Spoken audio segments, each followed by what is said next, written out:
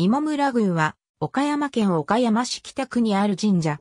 祭神は、天照大御神、八幡大臣、春日大臣の御柱。旧社格は、県社。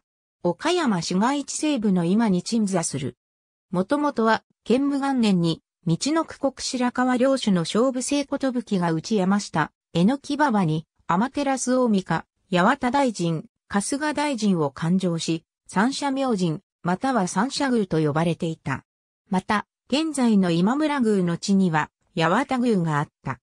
天正八年、浮田直家が岡山城を拡張し、その際に当神社を現在の地に移転し、移転当時は三社八幡宮と呼ばれたが、江戸時代になって今村宮と改められた。元那9年に今日見られる本殿が再建された。この本殿は三軒二軒日和田吹きの三軒車流れ作りで、昭和30年に岡山県指定重要文化財に指定された。このように潜座した経緯があるため、現在地と元来鎮座していた岡山市中心部が氏子となっている。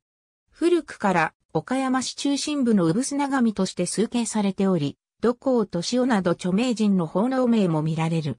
また、常の花冠子、出羽の海を継承は、この社を崇敬したため、拝殿には、横綱の絵馬、肖像学などが献納してある。黒住教の創始者である、黒住宗忠は、黒住教を始めるまでは、今村宮のネギであった。例年10月第2土曜日、日曜日に開催される。令和2年は、新型コロナウイルス感染拡大防止のため、開催中止となった。